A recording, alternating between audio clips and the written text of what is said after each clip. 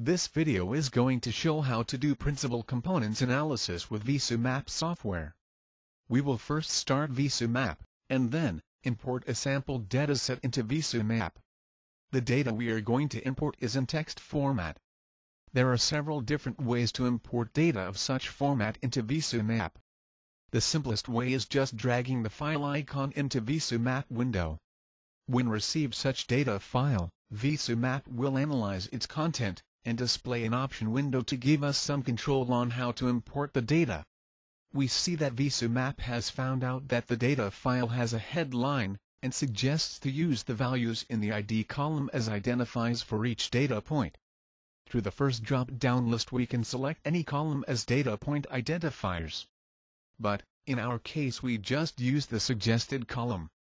Now we have imported the data into VisuMap as a new dataset that is internally a data table.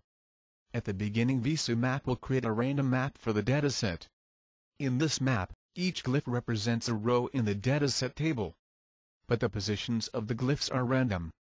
At this stage we can for instance explore the numerical details of selected data points through the context menu.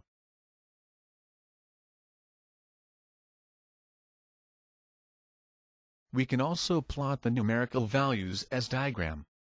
We notice that when we selected data in one window, the other window will automatically highlight the selected data. Now we can create a PCA map for our dataset. To do so, we first open the PCA window that will map our data into the 3D space. We then click on the Capture button to copy the map into the main window. Now we have a 3D PCA map in our main window. In this map, the positions of these glyphs are no longer random. They are ordered to reflect similarities between the data points. We can verify this by selecting a reference data point then change the glyph size of other points depending on their similarities to the reference point. In this map, the smaller glyphs represent data points with higher similarity to the reference point. We can also visualize the similarity with the help of the value diagram. In order to do so, we first plot all data points in a value diagram, and then use a marker to highlight data points from one region to another region. We can see clearly that how the trend of the curves gradually changes.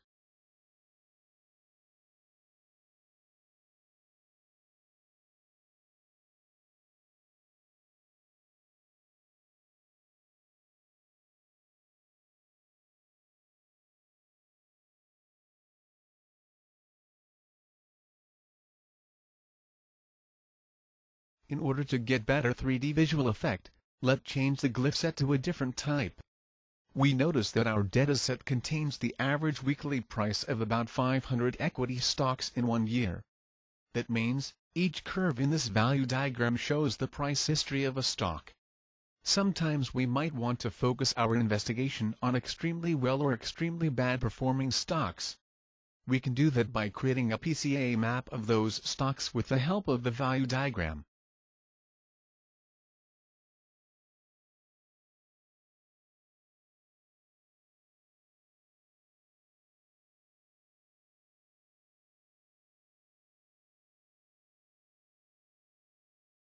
We notice that in this map the good stocks are displayed in green color, and bad stocks are in red colors. We can also create PCA maps for a particular time interval. For instance, we might be interested in the behaviors of stocks during a market downturn period. We can do this by first switching the value diagram into attribute mode.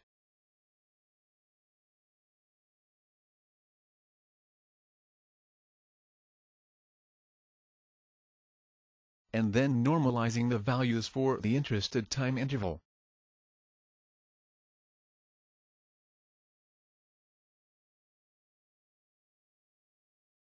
Then, we can create a PCA map for the market downturn time interval.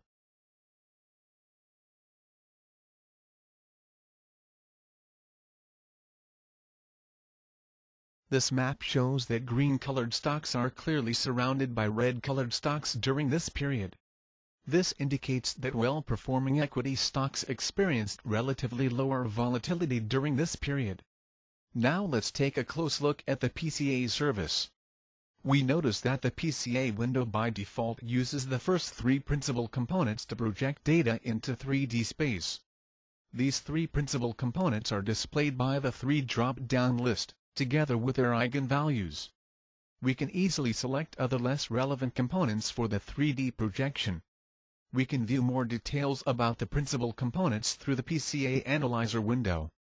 In this window, the upper sub-window shows the principal components as bars ordered by their eigenvalues which is indication for their relevance.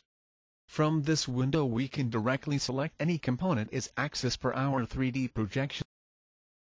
The lower sub-window shows the recovery ratio of selected components. The spectrum shows the breakdown of the ratio among the selected components. For instance, the first 13 principal components have together a recovery ratio of about 90%. We can quickly display the data recovered by these 13 components as a diagram, and compare it with diagram of the original dataset.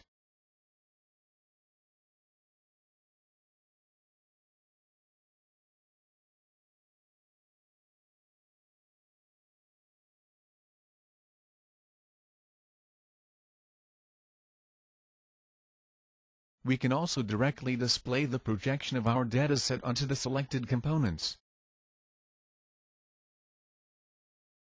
We notice that first few components have larger variations. This indicates that they probably carry more information than other components. The projection to those selected components provides a lower dimensional approximation for the original dataset. We can now save the projection into a new dataset.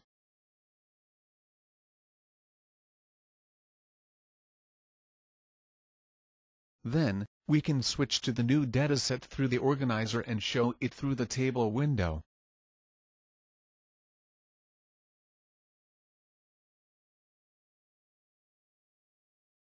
We see that the new dataset has 13 columns. Therefore, it is a lower dimensional approximation for the original high-dimensional dataset.